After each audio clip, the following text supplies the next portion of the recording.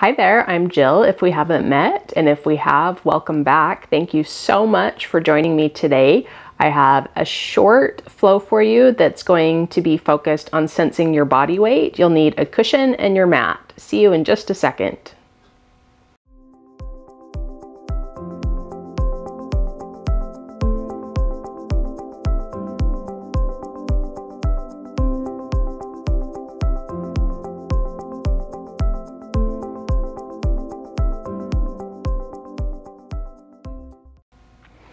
Go ahead and join me on your back with your knees bent and make sure that you have a cushion for supporting your head.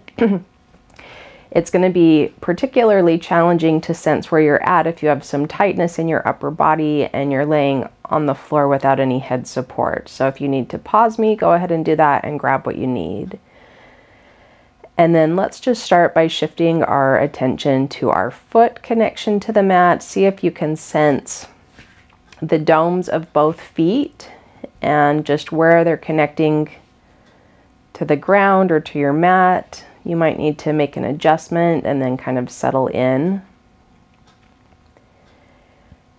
And then just notice where your arms fall naturally. They can be anywhere that's comfortable, so you can allow them to be out side of the kind of frame of your torso or bring them across your body maybe or you could even take the heels of your hands and rest them on your eye sockets if that's comfortable.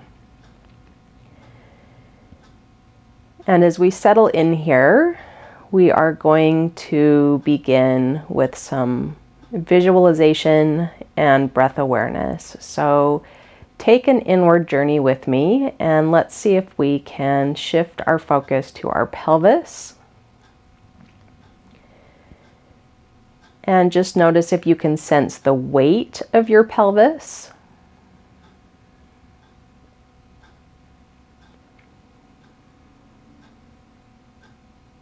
And notice if maybe one side has more weight on it than the other side and without making any major adjustments just see if there's some subtle intrinsic correction that can happen to allow your weight to settle evenly on both sides of your pelvis where you're connecting to the mat.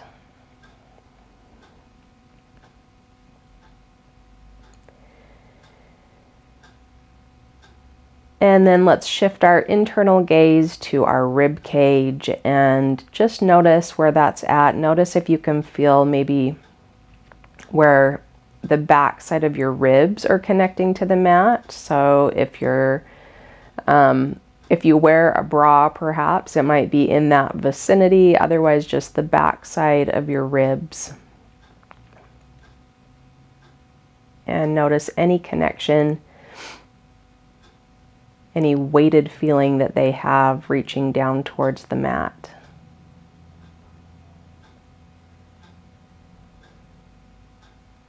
And then draw your inward gaze to your head. And can you notice the weight of your head? And again, can you notice if maybe it's slightly tilted or off kilter? And if you're not aware, that's okay.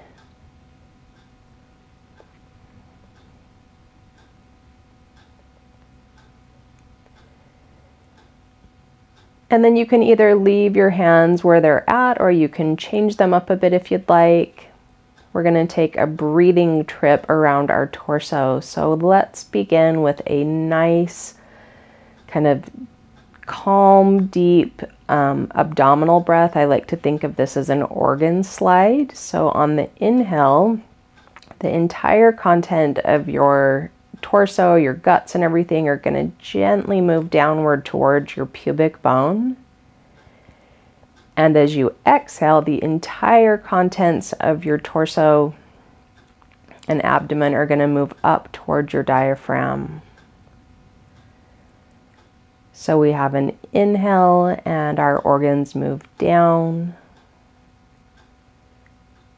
And an exhale and our organs glide up and back. Just taking it on your own time. Inhale to glide down.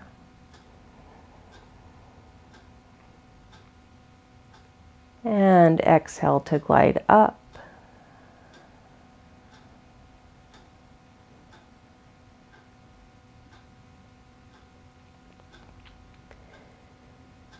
And again, inhale to glide those organs down.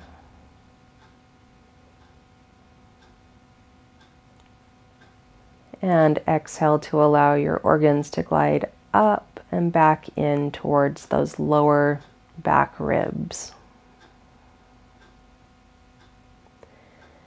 And then, if you'd like, you can take your hands and either place them across your body on the outside of your ribs or just kind of like chicken wings on the outside of your ribs.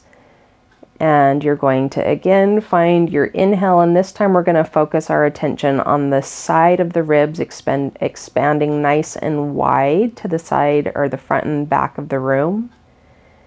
And as you exhale, those ribs wrap and hug your spine.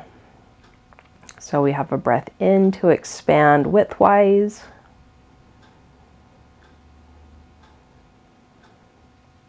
And an exhale to draw those ribs in a hug back in towards our midline.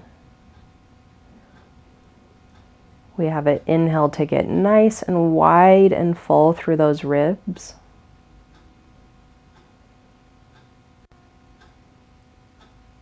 And we have an exhale to hug those ribs in.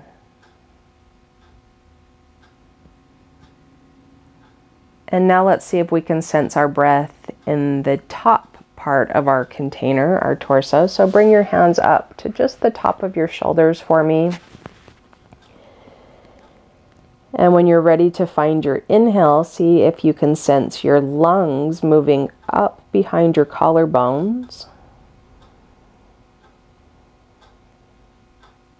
And as you exhale, your lungs Gently retract and retreat behind your collarbones and move downward. We inhale, and those lungs just gently rise up above your um, collarbones. And we exhale, and your rib, or excuse me, your lungs gently move down behind your collarbones.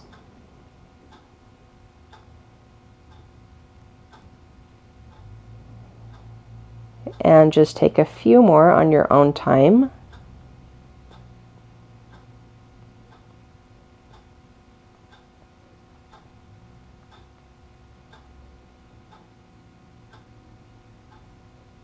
And then just allow your arms to go back to wherever is comfortable and you can kind of reshuffle if you need to and notice where you're at. Check back in with the weight of your pelvis and the weight of your ribs and the weight of your head, and notice any changes that have maybe happened as we've focused on our breathing.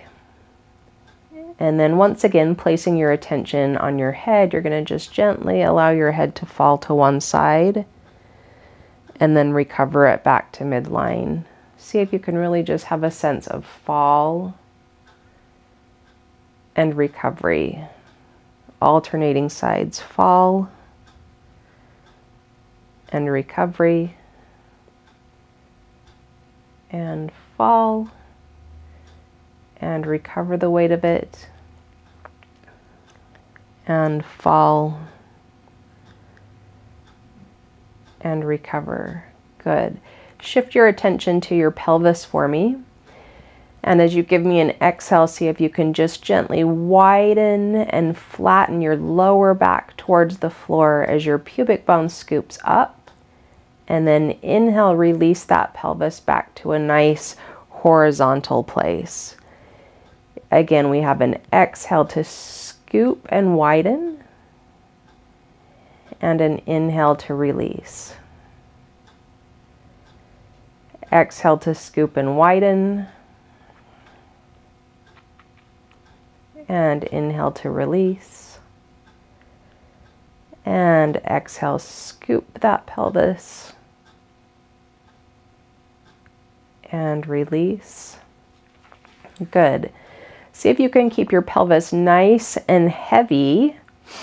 And we're going to go into a little bit of mobility in the hips. So pick a side, and that leg is just going to gently fall away from midline you will come to the outer pinky edge of your foot and then gently bring that leg back to where it came from. Let's stay on one side.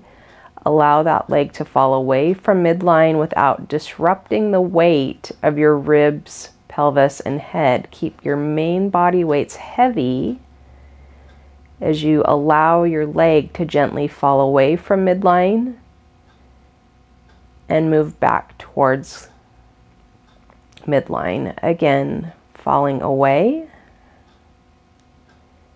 and returning. Stay calm and heavy in your three main body weights. And move that leg away from midline and bring it back. Let's switch sides. That leg falls away.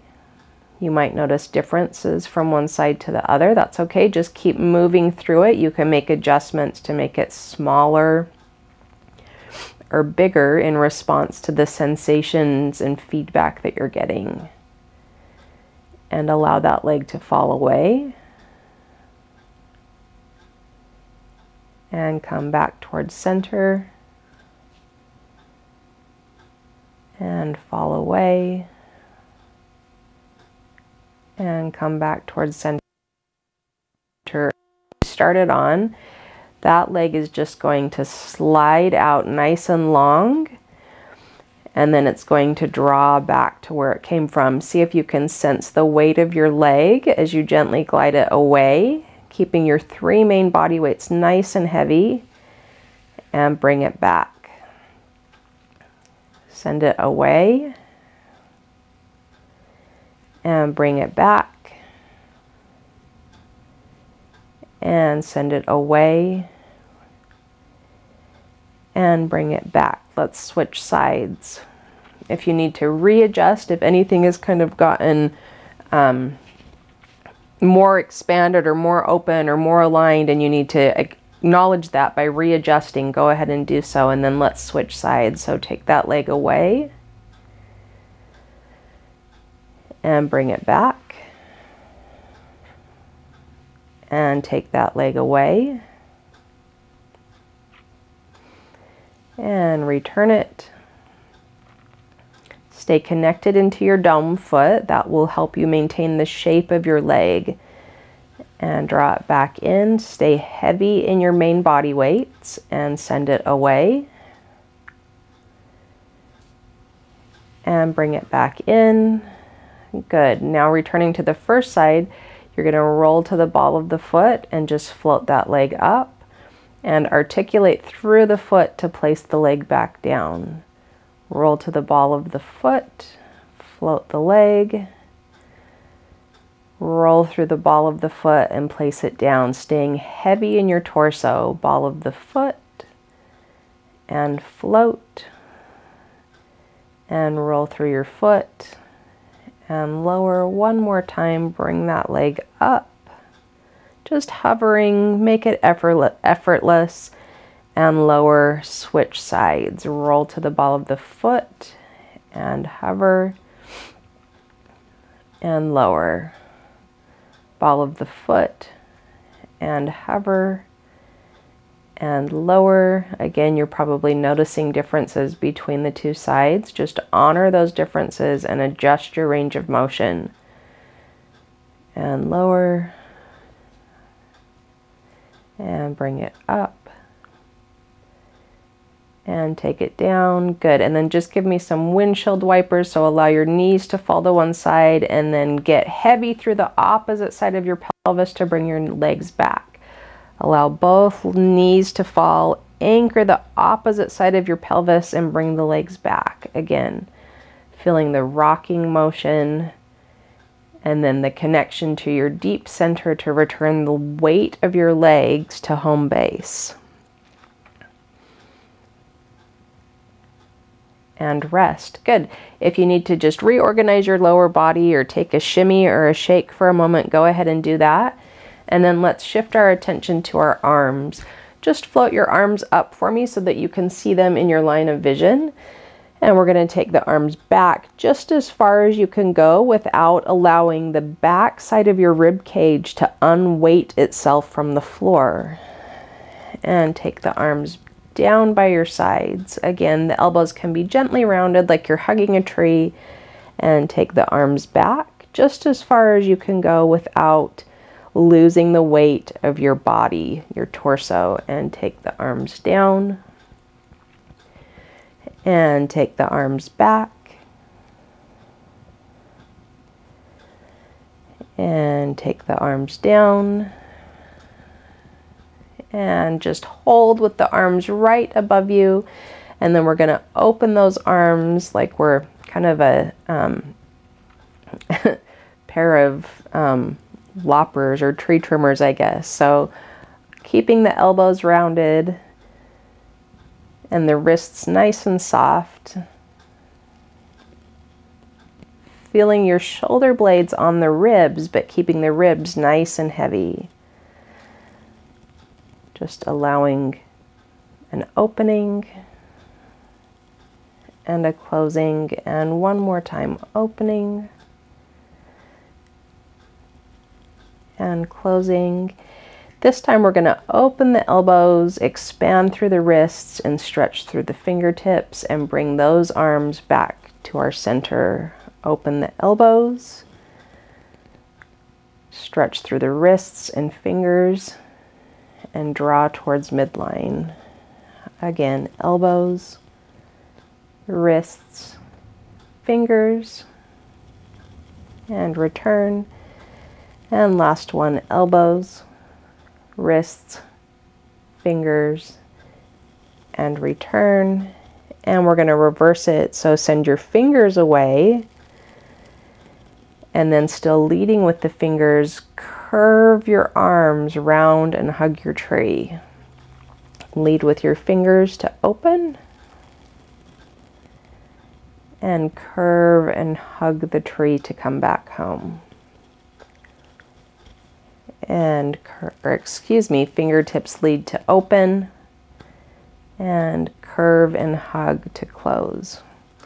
Lower your arms by your side and just notice where you're at in your body at this point. Do you feel like you have more clarity in your pelvis or your ribs or your head, or just allow your arms to float? Do your arms maybe feel lighter?